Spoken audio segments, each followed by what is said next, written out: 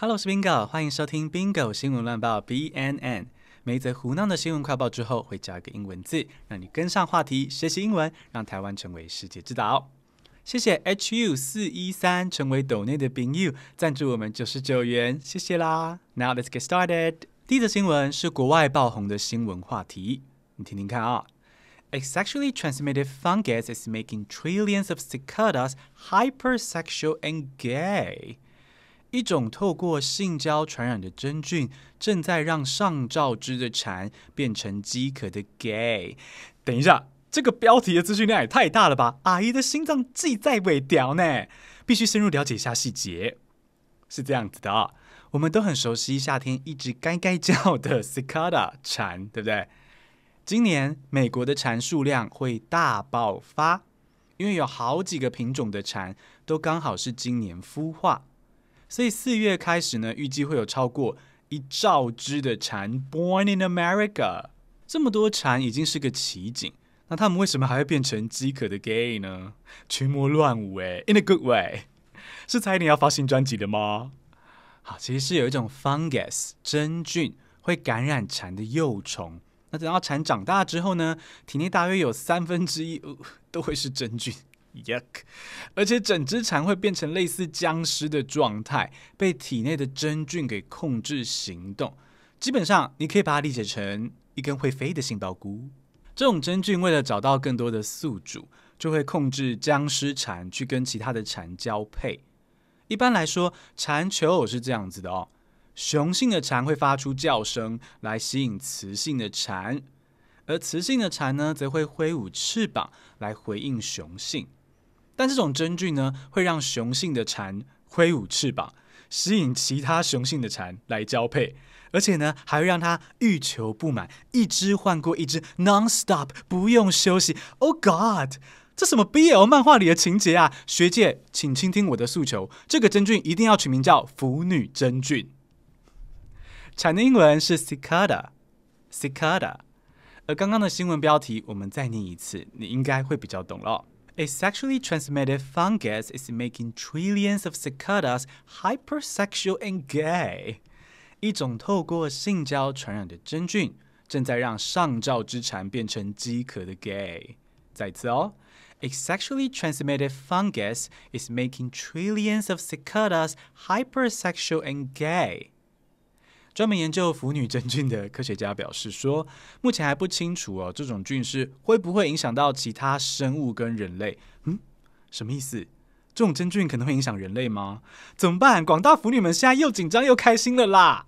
讲到又紧张又开心，国民党立委徐巧芯上周才因为支持统神的恋童癖言论而言上。最近，巧心妹妹又被媒体捕捉到说啊，在路边熊抱已婚男子傅坤奇，还把脸埋进对方的胸膛。嗯，怎地不挑啊？民众对他的观感是越来越差了呀，and rightly so。除了熊抱人夫之外呢，徐巧芯的大姑因为涉嫌诈欺被收押，而徐巧芯本人也被爆出曾经提供 one million 一百万元。给大姑的公司还利息，于是徐小青就被怀疑说跟诈骗集团是关系匪浅啊。目前已经被依照诈欺跟贪污治罪条例提告，检察官将会调查他的涉案程度，然后还有他从中赚了多少的违法资金。大嫂或大姑的英文是 sister in law，sister in law，in law 指的是结婚之后在法律上有亲戚关系的人。啊，比如说 mother-in-law，结婚之后冒出来的妈妈就是婆婆或岳母的意思。好，来造个句子哦。Strictly speaking, my sister-in-law isn't considered my family。严格来说，大姑不算我的家人。Strictly speaking, my sister-in-law isn't considered my family。这句话是徐巧芯在案发之后想把家人切割掉所说的话。那看来跟大姑比起来，高级礼盒掉满地的陌生人，嗯，还比较像是家人呢。话说，同样的事情如果发生在绿委和民进党立委身上的话，不要说大姑还是老公了啦，就算是一伯的弟弟的三叔公的外甥的堂姐的曾曾祖父，黄国昌也会发挥他最拿手的线索连连看，对着镜头咆哮三天三夜吧。听完了人性的黑暗，我们来 balance 一下，看人性的光明。社会有很多问题需要解决，要改善任何一个问题呢都不容易。但有一个团队，哎，竟然一次解决两个问题，Can you believe it？他们是台湾新福犬培育团队，将流浪狗训练成特殊生的老师，帮助特殊生学习怎么与世界互动，甚至融入社会，一次解决流浪狗及特殊生教育两个社会问题。哎，请问这些人是佛祖在世吗？佛祖在世的英文，嗯。不太建议照字面翻译哦，吼，不要直接翻译成什么 “the reincarnation of Buddha”，对方以为你是在传教吗？Religious talk 太严肃了，太像认真在说对方真的就是那个佛祖投胎的。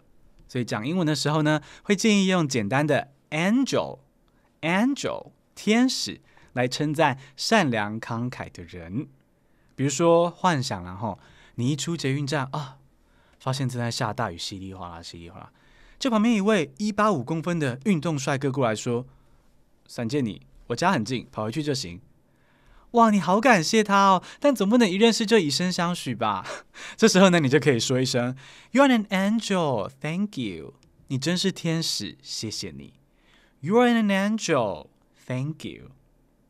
回到浪浪跟特教生哦，如果你想要看到他们彼此疗愈的画面呢，可以点击资讯栏中的连接。影片中你可以看到说，在狗狗的陪伴之下，这些特教生可以笑得这么灿烂，而且还能够练习 teamwork、冷静沟通这些各种非常不容易的技巧。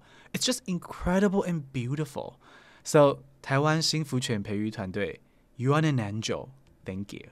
简单背一下今天学到的三个单字。蝉 cicada，cicada，大姑 sister-in-law，sister-in-law，你真是天使，谢谢你。